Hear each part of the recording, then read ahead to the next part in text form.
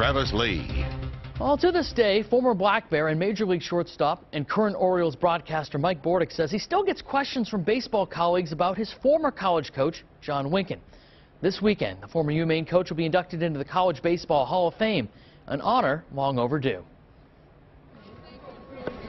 After making UMaine a national power on the diamond in the 1980s, John Winkin to this day remains the face of baseball in Maine. There was nothing I wouldn't have done for him. Uh, I think he had the respect of his players, he had the respect of his peers, and probably most important, he had the respect of every coach that he, whatever field he walked onto. That respect was important to Black Bear teams that were comprised mostly of Maine kids, But Winkin led to the College World Series in Omaha five times from 1981 to 1986. When we went out to Omaha, I don't think we were the best team there, but we were the, the best prepared team. I mean, he had us fundamentals over and over and over again.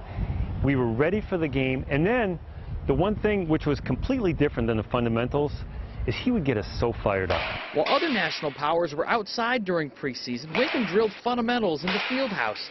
His focus on preparation was legendary. I remember after we lost in Omaha to Miami on the way home in the plane, I walked, I just wanted to go up and see him and see how he was doing, and he had a, he had a clipboard, and on the clipboard, he had six columns.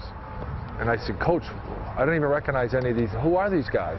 The top three columns were his potential starting lineups for the next three years, and the bottom three were his plan B lineups in case these kids decided to go somewhere else. I said, Coach, these kids are only 15 years old. He looked at me as if to say, you know me, you know this is how I operate. And I was just amazed that we just lost the World Series, but he's already getting ready for three. I think even Bordick might have been on that list. He's probably 15 years old at the time. And then we'll have a practice game, okay? All right, let's get going. Besides his 20 years at Maine, Winkin coached another 30 at Colby and Husson. Baseball was simply his passion. We talk about how much he loved the game of baseball. I remember being in a, on a southern trip one time, and the, the, the uh, Meatloaf song, uh, I believe it's Paradise by Dashboard Lights came on, that part where Phil Rizzuto's doing the, he's rounding first, heading for second. So I, Coach Winkin thought that that was a baseball game on. He was listening to a baseball game, and when we got to the end, he just, oh my God. I mean, everything he thought it was, everything was about baseball. Guy was quite a quite a legend there at UMaine, and for a lot of people, you know, who were able to go to his camps and just be around the program, it was uh, a special time for baseball here. Yeah, definitely, neat man for sure.